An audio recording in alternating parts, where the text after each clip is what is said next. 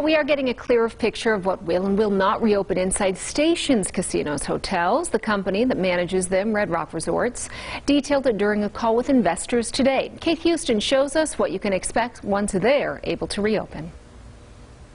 Palace Station will be one of the first Red Rock Resorts properties to reopen once it's safe to do so. Today, the company announced $377 million in net revenue for the first quarter of this year. That's down 16% from where they were at last year. On the earnings call, executives said based on everything its team is hearing, casinos could be permitted to open in the coming weeks. In the meantime, Red Rock Resorts released its new health and safety protocols. This includes COVID 19 testing for workers, thermal scanners, enhanced sanitizing, and a change in the layout of the casinos. Red Rock Resorts mentioned its business model is different from others on the Strip since its revenue mainly comes from retirees and locals. The tourist part of the recovery is going to lag the recovery in the local gaming market, which we think we should be able to lead the recovery in the local gaming market given the geographic distribution of our properties, the quality of our properties, and frankly, the quality of our team members